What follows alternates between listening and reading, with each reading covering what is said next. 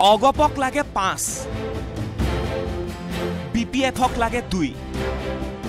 লোকসভা নিৰ্বাচনক লৈ পৃথকে পৃথকে অংক মাষ্টৰৰ অংক। দুহেজাৰ ঊনৈছৰ লোকসভা নিৰ্বাচনক লৈ অংকত ব্যস্ত হৈছে বিজেপিৰ দুই মিত্ৰ দল অসম গণ পৰিষদ আৰু বি পি এফ যি সময়ত বিজেপি নেতৃত্বই পূৰ্বতকৈ লোকসভাৰ আসন বৃদ্ধিৰ বাবে ব্যাপক কুচকাবাজ অব্যাহত ৰাখিছে সেই সময়ত অগপ বি পি এফে কৰিছে সমষ্টি বৃদ্ধিৰ দাবী।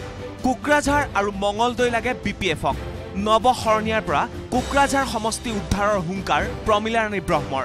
আমাৰটো হ'ল দুটা পৰে সেই দুটাত আমি বিচাৰিম পাঁচ নং লোকসভা আৰু মংগলদৈ সমষ্টি এই দুটা আমি বিচাৰিম। নাগৰিকত্ব সংশোধনী বিধেয়ক দুহেজাৰ ষোল্লক লৈ বিজেপি নেতৃত্বৰে সংঘাত হোৱাৰ পিছত ৰাজ্যৰ প্ৰধান আঞ্চলিক দল অগপই যিকোনো মুহূৰ্তত মিত্ৰতা ভংগৰ হুংকাৰ দি আহিছে বিজেপিক। বিগ ব্ৰাদাৰ বিজেপিৰ সৈতে যদি ঊনৈছলৈকে মিত্ৰতা থাকে অগপক লাগিব পাঁচটা সমষ্টি।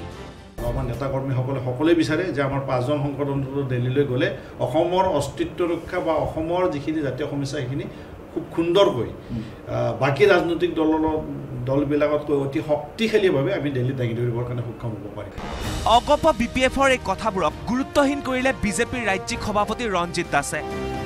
মিত্ৰ দলক কিমান সমষ্টি দিব চিন্তাই কৰা নাই বিজেপিয়ে। একেবাৰে লোকসভা নিৰ্বাচনৰ প্ৰাক মুহূৰ্ততহে কোনে ক'ত খেলিব সেই সম্পৰ্কে সিদ্ধান্ত হ'ব। এতিয়া আমি সংগঠন বৃদ্ধি কৰিছোঁ আৰু সংগঠন বৃদ্ধি কৰি পেলাই একেবাৰে অন্তিম পৰ্যায়ত মাননীয় ৰাষ্ট্ৰীয় সভাপতি অমিত শ্বাহ ডাঙৰে এই ক্ষেত্ৰত সিদ্ধান্ত গ্ৰহণ কৰিব। এতিয়ালৈ কোনো ধৰণৰ এই বিষয় লৈ পেলাই আলোচনা হোৱা নাই। ৰঞ্জিত দাসৰ এই মন্তব্যত এটা কথা স্পষ্ট যে লোকসভা নিৰ্বাচনত বিজেপিয়ে বুজাবুজি কৰিলেও মিত্ৰ দলক এৰি নিদিয়ে ইমানবোৰ সমষ্টি। বিজেপিৰ দখলত থকা সাতটা সমষ্টিৰ উপৰি বিজেপিৰ লক্ষ্য বাৰটা সমষ্টি দখলৰ।